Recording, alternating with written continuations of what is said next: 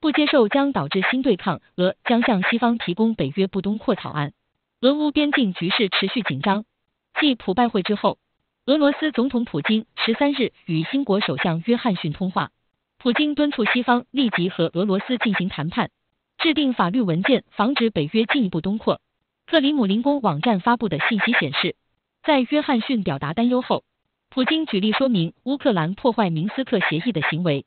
称乌当局在冲突地区使用明斯克协议所禁止的重型武器和攻击型无人机，故意加剧接触线的局势紧张。普京强调，这一切都发生在北约对乌克兰领土进行积极的军事探索之际，这对俄罗斯的安全构成直接威胁。为向俄罗斯施压，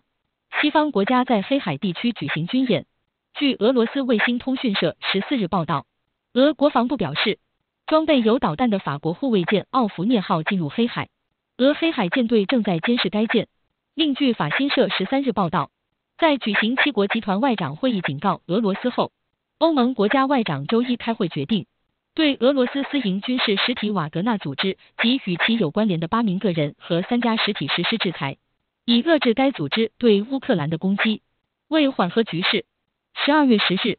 俄外交部就与西方国家开展安全保障对话发表声明，呼吁北约对俄方此前有关缓解欧洲紧张局势的提议做出具体回应，并表示俄罗斯目前已经暂停在欧洲部署陆基中程导弹，希望美国也加入这一行动。俄乌边境紧张局势升级，让一些人认为俄罗斯和西方国家可能爆发冲突。